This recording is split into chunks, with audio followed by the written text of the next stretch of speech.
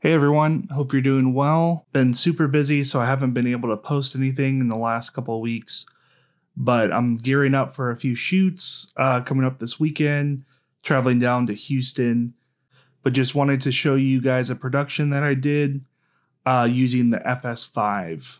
I love this camera. I use it for a lot of productions, even in 2023. I have five of these uh, cameras with monitors and, and lensing and all that and I, I, use them a lot for multicam shoots as well as some corporate work. Personally, I still think they have a really good image.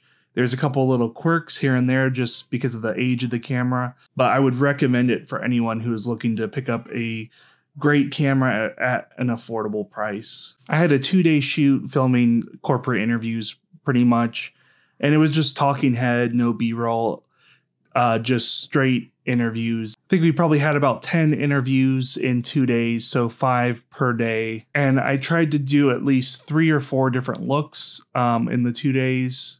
And I was kind of a one man band on the shoot. It was just me and a director.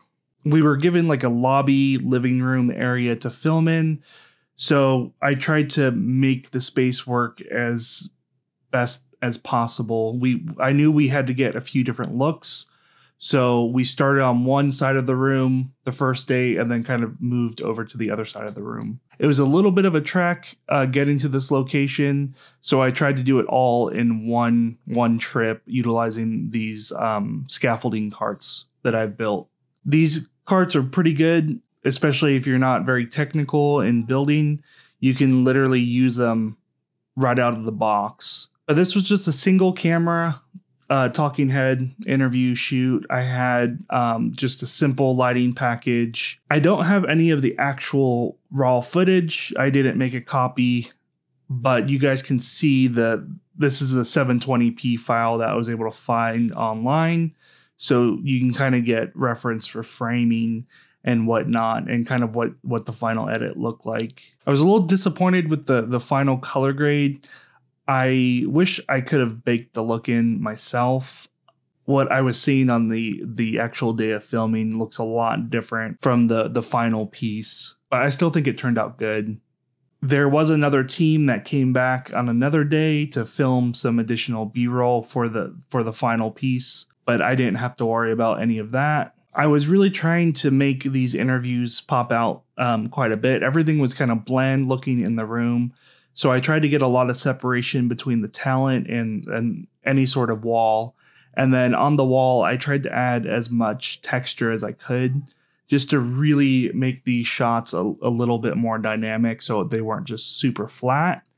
So I, I put a light outside kind of shining in through the window and I used some of the blinds to, just to create some texture on the wall. You could have used like a cookie or anything like that, but I didn't have one with me, so I was just trying to use those blinds and angle them down just to throw a little texture on the wall. I think if I ever do another project like this again, I would probably at least at a minimum maybe put the LUT on the actual hard drive or what I was using to monitor um, just to get them a little bit closer so they're not starting from scratch.